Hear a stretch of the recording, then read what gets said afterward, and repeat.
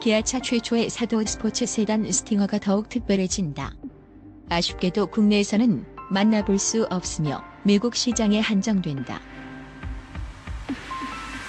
500대 판으로 생산된 순서에 따라 numbering을 표기를 한다. 스팅어 GT 아틀란티카 edition은 미국 기준 GT2 AWD trim을 베이스로 한다. 여기에 전용 배지와 19인치 alloy 휠이 장착되며 실내는 에스프레소 brown nappa 가죽과 black 컬러의 스웨이드 headliner로 고급감을 높인다. 페인트는 deep chroma blue deep chroma blue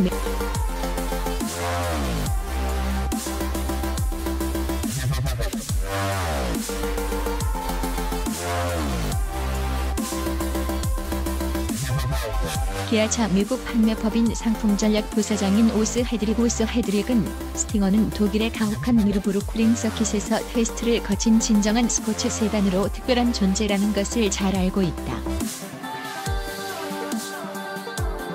때문에 더욱 특별한 모델로 2019년을 기념하고 싶었다. 라고 전했다. 기아차 스팅어 GT 아틀란티카 edition의 판매 가격은 아직 정해지지 않았지만 대략 5만 3천 달러 약 5,668만 원로 예상하고 있으며 올해 여름 판매를 시작할 것으로 알려졌다.